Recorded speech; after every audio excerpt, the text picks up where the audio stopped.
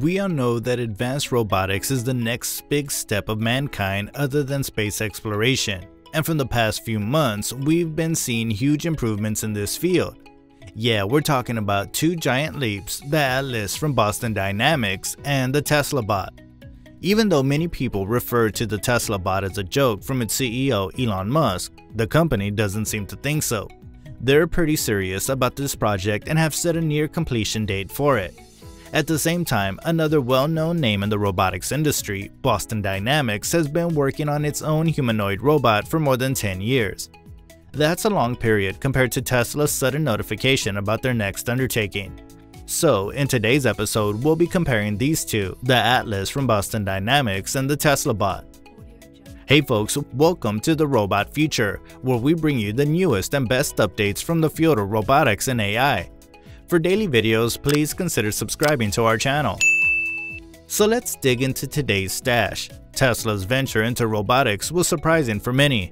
In fact, who would think about a company that sells electric cars, solar panels, and batteries that are about to build a humanoid robot? The Tesla bot, also recognized as Optimus, is schemed as a notional general-purpose humanoid robot.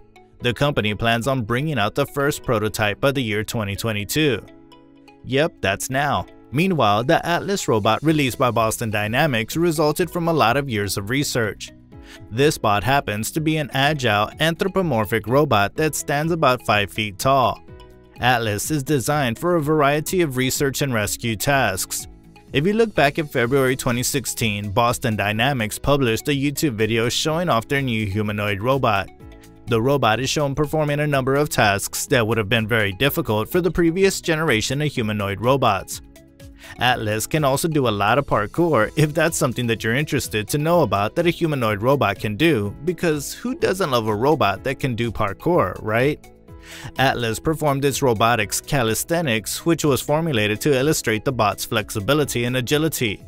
Still, it was somewhat noisy due to the shuddering action of its hydraulic muscles. Videos indicated the prototypes walking over rough ground and inching along slim ridges in simulated grounds. But our Tesla bot isn't expected to do any kind of parkour tricks, but Musk has something else for you which can benefit common people. Musk implied that it could run to the grocery store for you, run other errands, but presumably it could handle any amount of tasks involving manual labor. Well, that's great news for lazy humans like us. So you guys might be thinking, other than that, what's so special with the new Tesla bot apart from serving as a common household robot? Is it like the one from the movie I, Robot? Hmm, maybe what we're going to explain might seem like it a little bit. Let's see. Musk explained his vision about a slender robot with a 5 foot 8 inch frame during the event. It'll be prepared from lightweight materials so that it helps in reducing its weight to a narrow 125 pounds. That's brawn, what about brains? The bot is planned to be powered by Tesla's full self-driving computer and autopilot cameras. The Tesla bot is said to walk and interact with the environment. In addition to this, the bot will be furnished with a display through which owners can retrieve data from and interact with the robot. With these, Musk said what his proposed innovation might be able to do, what we can surmise is that the robot could perform tasks that could be made as consistent as possible, like picking items off of a shelf in an Amazon warehouse or screwing in bolts in a manufacturing facility. It's presently blurred how many domestic tasks the robot could perform, Musk also asserted that the Tesla bot will encompass roles and features that prevailing robots find impossible, like responding well to transitions and two-legged locomotion. Their bot will also use natural language processing to put up with verbal instructions. But this is great, looking at the current robot tech. Oops, we totally forgot about our Atlas.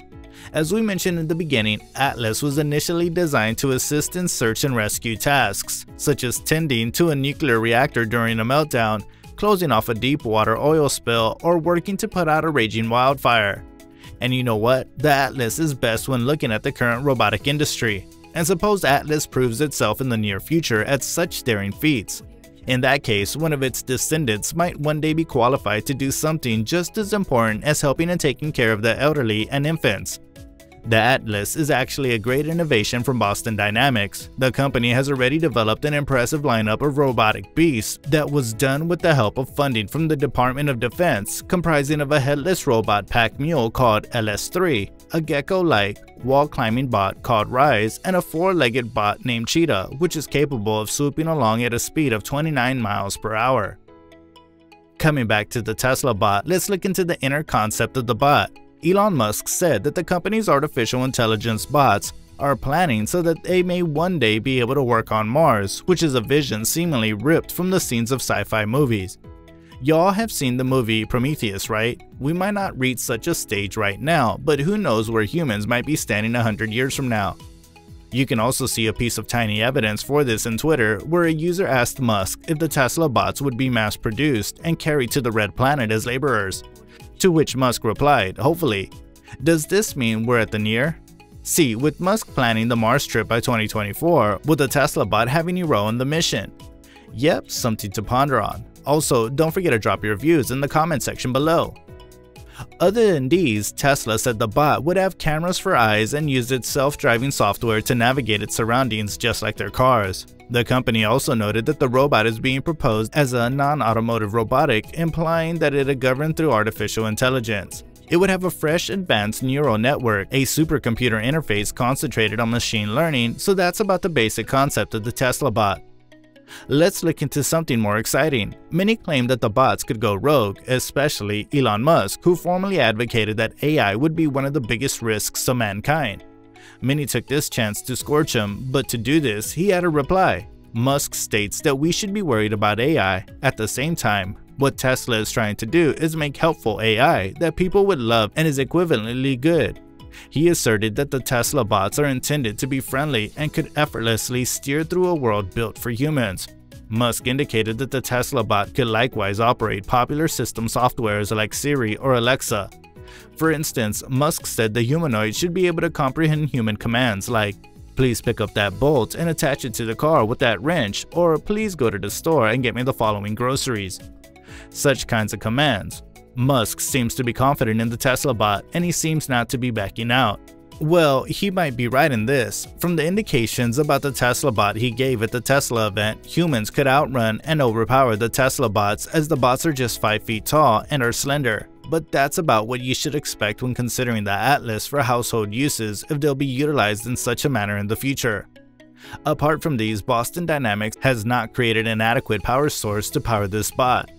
So far, the power source they're currently using is two generators. At the same time, due to this flaw, these robots are too weak, slow, or clumsy to do much. When looking at the same case for the Tesla bots, we don't have a clear idea about its power source. Maybe the bot 2 will be wielding the same battery as their cars.